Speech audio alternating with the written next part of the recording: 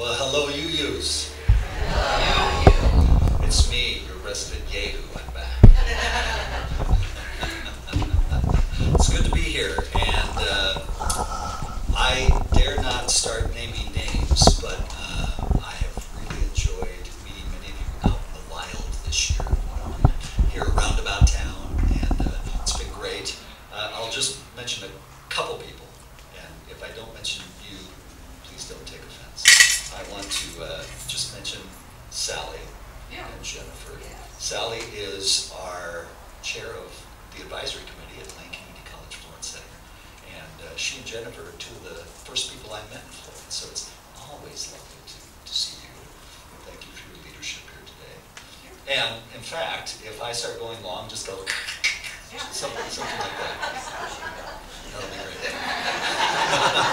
Yeah, I shouldn't tell her that. She'll take that a little literally. And uh, I too am a fan of Councilor Preisler, so it's lovely to, uh, lovely to, to see him here today. And the rest of you that I know and love, thank you for coming as well. Um, I also, I, I briefly mentioned my, my family, but I, I want to tell you just a smidgen about each of them. Uh, my lovely wife Tammy, I left the ugly one at home. Well, you know how they say my better half? Yeah. She's probably my better three fourths, yeah. maybe seven eighths, something like that. And uh, we're coming up, we're less than a month away from our 36th anniversary. And you're not even 36 yet. How did you do that? Uh, my son-in-law Jason is a school teacher among his many many talents. He's a Renaissance man, and uh, he he diligently has followed my daughter all over the world. They spent a year in France because she wanted to teach English in, Fran- in France, and uh, he spent how many god awful years in North Dakota? North Dakota, I, I just visited recently and I thought it was lovely, but uh, I know the winters are a little bleak. And uh, my daughter just finished her Doctor of Physical Therapy degree from the University of North Dakota. So he was there working hard while she was going to school and uh, they just completed that. She is now uh, a physical therapist on staff at a, a therapy, a therapist in Eugene, a physical therapy place, whatever they call them, I don't know. Uh, and uh, I texted her when I first got here, when the prelude started, you played a couple of Beatles songs, and she's a big Beatles fan. So I, I said, hurry, you're gonna miss the Beatles prelude. so so that was that was awesome. Um, if you missed my visit last year, it was just about a year ago that I was here. And let me bring you up to speed with a couple of salient points. The first, I've already mentioned, we established that I could call UUs if I let you call me a Yehu. So we've got that covered. And then I revealed three increasingly dire facts about myself. And it's worth pointing them out again. The first thing is, I am a Christian. The second thing, I am back in the misty past an ordained minister. And the third thing, shh, I'm an evangelical. Whoa. Yes, praise the Lord. So thank you for praying the Lord's Prayer today. That I felt just right at home. Um, and also last year I, I mentioned quickly what, what is an evangelical because it's much broader than kind of you know what we what we think about. So there's a there's a great four point summary, and I'm going to paraphrase it by telling you one thing that evangelicals care about is the Bible. So they take the Christian and Hebrew scriptures seriously, uh, and seriously can go way over here, just over here um, as we'll talk about in a moment. Uh, they care about the cross, so they assign deep meaning to the death and resurrection of Jesus. Uh, and at its core, that means evangelicals believe that one can experience a kind of personal relationship with this power that we call God. And they view God as a giver, a lover, and a cause for hope. Uh, and again, that can, that can look very differently depending on the evangelical you're talking to, but that's its essence. Um, evangelicals actually celebrate change. I, that may be hard for you to believe, but it's true. Uh, this is the notion of conversion and the sense evangelicals have that their ethics and values ought to be consistent with the example of Jesus.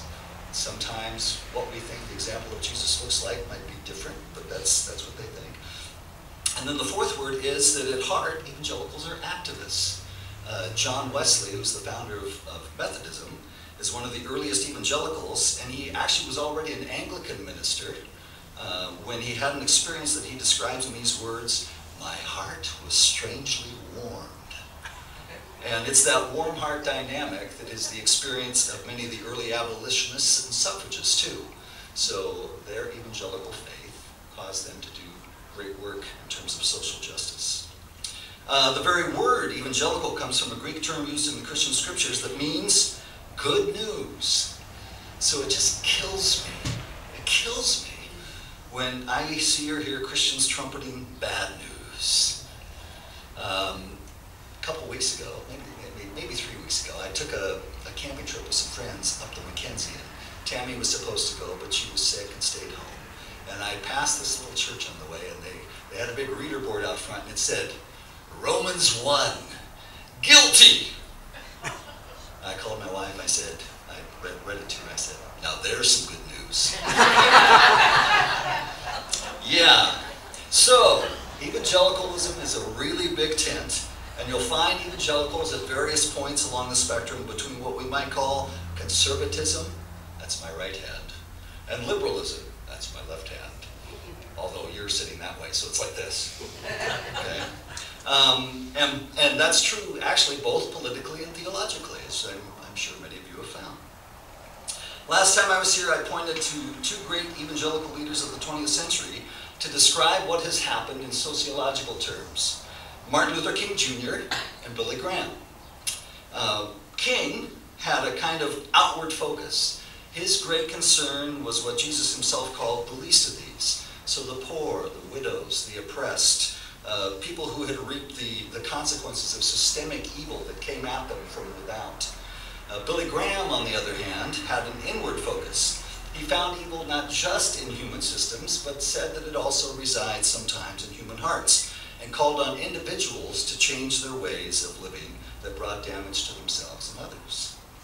So as this worked itself out in the 1980s, and I lived through it, I rode the ride, it was a roller coaster ride. So we're talking kind of the Reagan era and beyond. Conservative political operatives began very intentionally to court evangelical leaders in the political spectrum.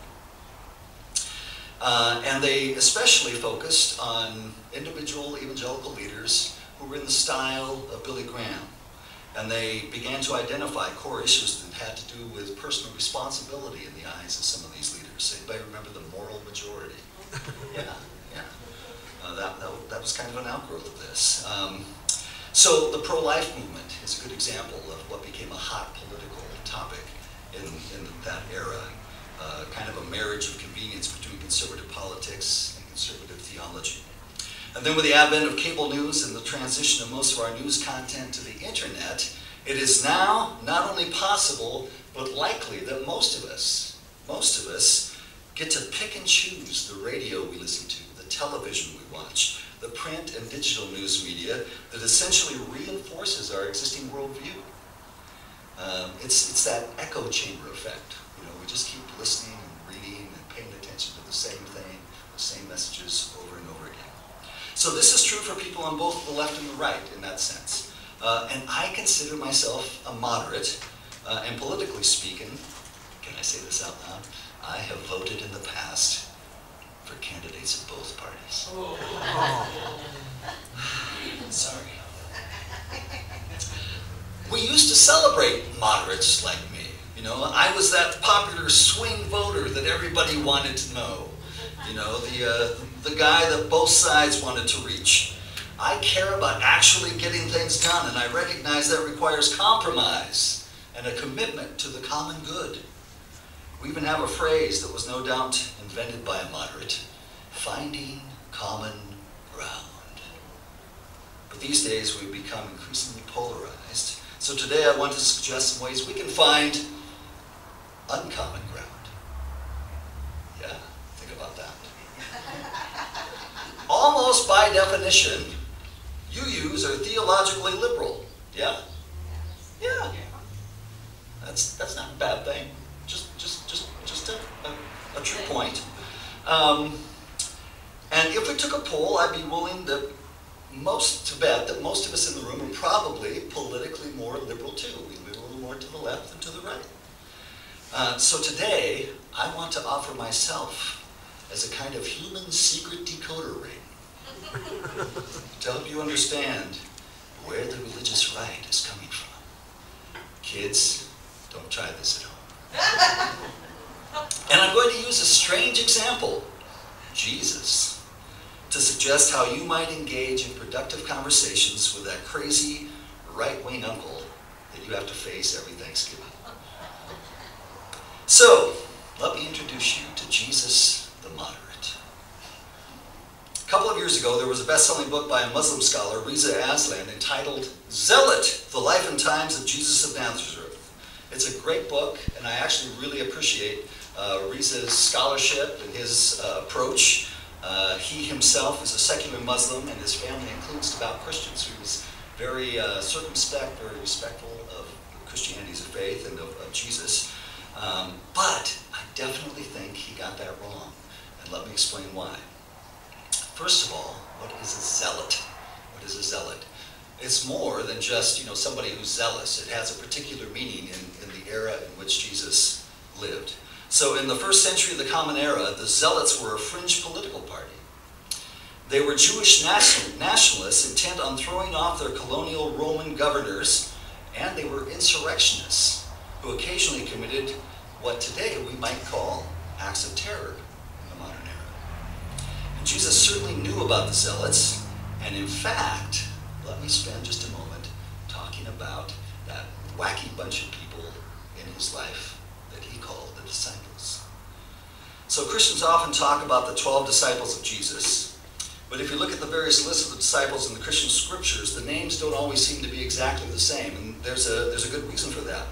Looking through these lists uh, through the lens of their original Jewish context, we find that the individual disciples had first names, surnames, and nicknames, and they're sometimes called by different names in those different lists that occur uh, in the Christian scriptures. For example, uh, one disciple named Nathaniel in one list is called Bartholomew in another, and his full name in Hebrew was likely Nathaniel Bartholomew, which we have anglicized as Bartholomew. So he's called Nathaniel in one place, Bartholomew in another place or two.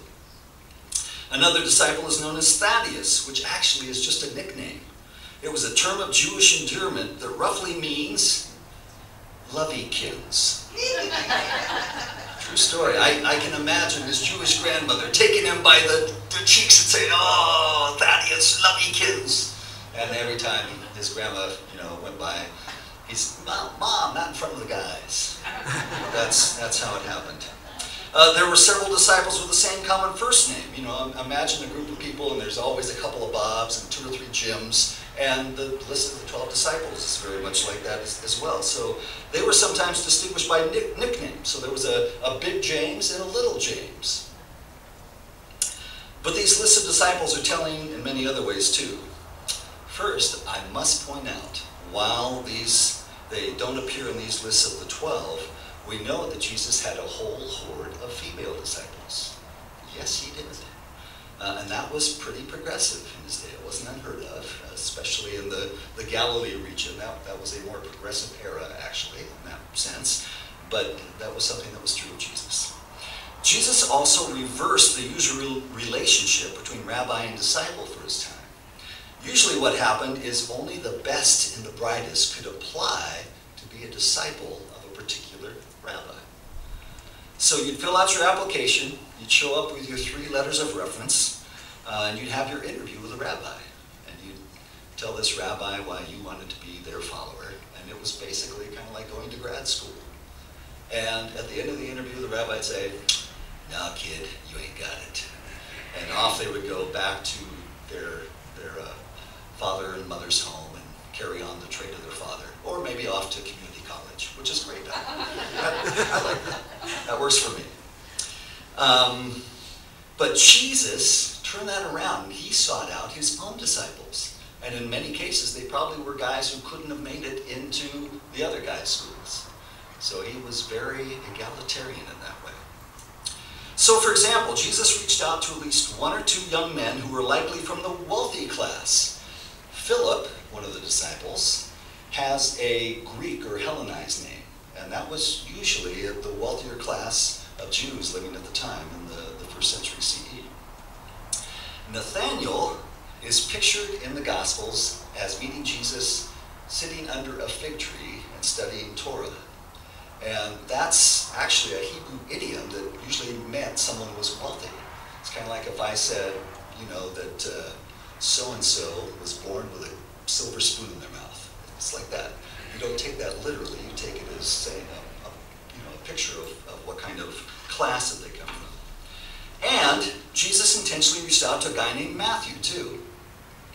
Matthew was a Levite, which was from the priestly tribe, but he would have been considered a total sellout. Anybody know why? He was a tax collector, an IRS agent for the Romans. Yeah, that, that wasn't good.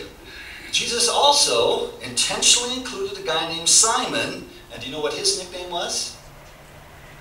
There's a Simon Peter. This is the other Simon. It's kind of like the Bobs. This is, this is one of the other Bobs. Simon the Zealot. Simon the Zealot. And Jesus also had another disciple who was probably a zealot's zealot. Anybody know what we think of as the last name of a guy named Judas? Iscariot. Iscariot. So that comes to us from the Greek. When you flip the lens into Hebrew, it could mean one of two things. He was from a town in Israel called Keriot, or the more likely of the two, it's related to a word, scari, S-C-A-A-R-I. This up later if you'd like. It's a subset within the Zealot party who carried out assassinations with a small curved dagger. that could fit it into their tunic. And uh, if they saw some Roman official coming their way and no one was around, they could just take out the, uh, the, the curved dagger, got him real quick, and within a few moments they dropped to the ground and you were, you know, a block away, walking with resolution. Yes. Um, so you know, think think of think of a guy who was just he had his he was a card carrying member of the NRA, had his concealed weapons permit. That that was Judas Iscariot. Um, you know, there's a there's an old song I thought of when I was thinking about Judas. Remember Bobby Darin, Mack the Knife? Oh, the shot Everybody now. You're no good. um, so think of this. Think of this. Jesus surrounded himself with a couple of one percenters, with an IRS agent, and a couple of terrorists who would have hated both the one percenters and the IRS. And he managed to keep these guys from slitting each other's throats for at least three years. That's pretty miraculous. He also made such an impact that one of them finally couldn't take it anymore, Judas, and uh, you know did what Judas did. And the rest followed in his footsteps and sought after their own disciples too. How did Jesus do it? So this is the secret. This is the big takeaway today. Are you ready? All right. Jesus entered their stories and he invited them to enter his story too. And that order is. So what's that look like for us? How do we find uncommon ground with others in these strange and perilous times? There's a book I've, I've just started reading. In fact, I'm going through it with some academic colleagues. It's called Difficult Conversations, How to Discuss What Matters Most. It's by the authors of uh, probably a better well-known book that you may have heard of called Getting to Yes. So this came out of the Harvard Business School. They wrote this book that exploded on the bestseller list. And Getting to Yes is kind of about having difficult conversations. But they wanted to dial that in a little better. And so they wrote this follow-up to that book. And, and it's, it's a wonderful book.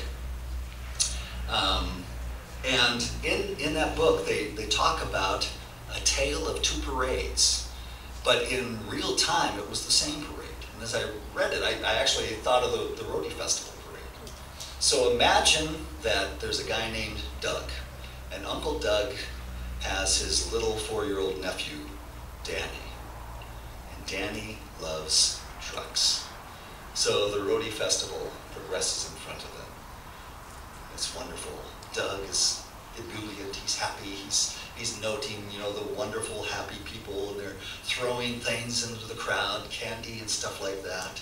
And he sees the beautiful rhododendrons and and uh, you know the the clever sayings on the side of the floats and these horses that are going by. He sees all of that. And little Danny, the four-year-old, all he sees is not the floats, not the people, not the horses. He knows there's some really cool trucks. really, really cool trucks that are dragging the floats. So at the end of the day, Danny and Doug have this conversation, and Danny says, Uncle Doug, thanks for taking me to the Rhody parade. It was wonderful. I loved it. And Uncle Doug says, I did too, Danny.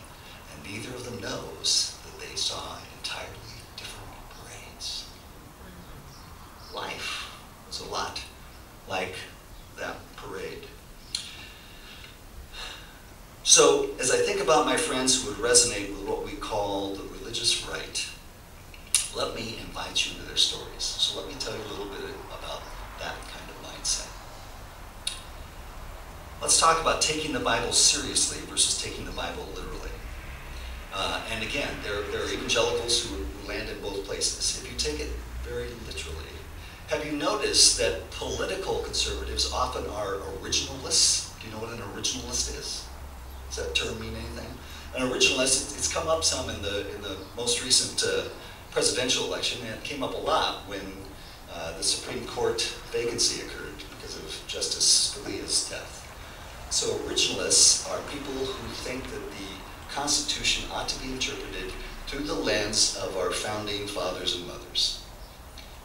And a lot of more progressive liberal folks think that we can't really know what the lens of the original founding fathers is when it comes to things like net neutrality. You know, the idea that the internet ought to be free and equal and open to all. They didn't even know what electricity was, except maybe Ben Franklin. He had that little kite thing. Uh, so let's talk about something else. Let's talk about. Is this microphone on? Let's talk about gay rights. Where's one of your? Uh, let me see that. Perfect. So you see this hymnal? See how thick it is? Well, if you've ever seen a Christian Bible, it's maybe twice that thick. Yeah. So out of those, I don't know, thousands of pages, 66 books, lots of books, lots of pages, there are six or seven little passages that are very conservative right folks point to as talking about gay rights. Six or seven little passages. And I used to teach what's called hermeneutics, which is talking about how to interpret scripture.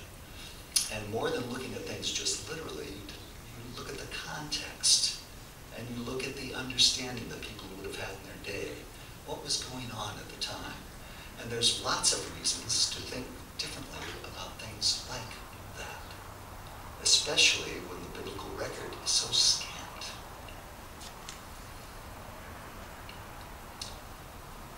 Let's talk about evolution. You just you just let a scientist into your fellowship today. Imagine the possibilities. I'll change you all. So may know that uh, there are those within the evangelical camp who, uh, you know, cast a dim view on evolution, and uh, they talk about how it's only a theory, kind of like gravity. and uh, you know, it's because of this very literalistic reading, and they, they fail to see that the Genesis narrative is a very ancient narrative, not unlike something that might have been told around a Native American campfire at some point in our history in America. So it, it, it doesn't mean it isn't true, but it's not true that way. It's deeply true. It's telling us something about ourselves and our relationship to one another and our relationship to the universe. It doesn't have to necessarily mean, you know, six days and that was it. And 6,000 years ago and that was it. Oh my. Um, there's another way that I want to invite you into their stories, and that's to think about, you know, what I said about Billy Graham, focusing on, on the inner life. So that kind of sociologically has taken on aspects of thinking about the religious right, thinks about things in terms of personal responsibility. Um, there's a, a, book and a, a, a, German scholar named Max Weber, Max Weber, who wrote a book called The Protestant Work Ethic that traces, you know, the growth of the early days of capitalism and its growth to early Protestants and uh, their, their desire to, to prove that they were, you know, the, the chosen ones. Um, and it, it's that whole sense of, of, personal responsibility. So when you see some news outlet, uh, like one that some guy just recently was thrown out of, and incessantly every, you know, October, November, December, they, they trumpet the war on Christmas. Um, when you hear talk radio, know, some guy named Rush, or when you look at particular websites like The Blaze, and when that's all you see and all you read and all you hear, you know, that, that notion of personal responsibility can start to go a little too far. And you start taking your sense of personal responsibility and imposing it on everybody else. Yes? So, that's some insight into, you know, kind of an intramural fight evangelicalism right now. So, I already told you the big takeaway. Jesus found a way to, end, to enter the stories of others. He invited them into his. But let's talk about some bite-sized takeaways really quickly. Um, let's, let's break it down. So, first thing I can say is, you should go first. You should go first. So, a liberal person has a big frame of reference, and a conservative person has a much narrower frame of reference. So I am sorry, but it is up to you to start this conversation because you can see things that include this frame of reference because you can see way out here too. So you go first. Just seek to understand where they're coming from and why. Uh, secondly, recognize that these are generally awesome people. In their own frame of reference, so the way that they think about things, there's some internal consistency for them. And their, their uh, money and their energies are directed in great ways. So I know a lot of evangelical friends, the religious right, and they practice what's called tithing. And if you're a really conservative, theological, religious right person, if you're a tither, you literally give at least 10% of your gross income away to charity every year. That's a lot. That's pretty crazy. Um, you know, there are folks in the religious right who take their pro-life stance, what they call pro-life, they take that very seriously, and they practice lots of adoptions. I know families that have 12, 14 kids. So whatever we might think of that stance, and whether it's right or wrong, we can appreciate that it's consistent within their worldview, and they're doing what they can, consistent with their worldview, to make the world a better place. Also, read what they're reading. Watch what they're watching. Listen to what they're listening. Enter their story and invite them to do the same. That'll blow their minds. Hey, turn off Fox News, turn on MSNBC. You know, imagine, imagine what could happen. Um, always engage as a person and not as a position. If I know you are only coming at me to try and change my mind, I am not going to be very responsive. But if, if we're people enjoying a relationship, that's awesome. I mentioned a moment ago, and I want to say it again, they have a worldview that is internally consistent. Uh, there's a there's a an evangelical author I like who talks about what he calls brickianity. Brickianity. It's a very conservative worldview that is just like this, and it all sticks together. And if you start pushing on any of those bricks, and it looks like that brick might fall out, it creates a real dissonance for them, and that's why they get very reactive. You know, if if if evolution is true, then the Bible is a lie, and Jesus never existed, and God isn't real. It's it's that kind of kind of a thing uh, for for for some of them. Um, You know, it's, it's that notion of mystery versus certainty. Uh, many on the religious right are very certain, and they forget that faith is really a lot about mystery. So be mindful of that. Also, this is a relationship and not a debate. It's a relationship and not a debate. I love the size of Florence. It's a really great reminder that these people that we're talking to today, we're going to see at Freddy's tomorrow, or at the FEC, or Bimart, or Safeway. And it's a good reminder, you know, that this is a long-term thing. You know, we're not just having this moment, this, this crisis moment where I'm going to try and change your mind. This is a, a long-term process. And the last thing I'll say about that, this is really dangerous. Jesus had a great track record, 11 out of 12. But that 12th guy betrayed him and got him killed. Real relationships are not for the faint of heart. Ask my wife of 36 years. so, can I give you a quick benediction? Just close my section. here. So, my friends, while you may not be a follower of Jesus, may you follow the example of Jesus in these ways. May you be brave and courageous, slow to anger, and quick to forgive. May you wage peace with a heart full of love. May you always be wise, and may you be wily when necessary. May you ever find ways to enter the stories of others and invite them into yours. Amen. Thank you.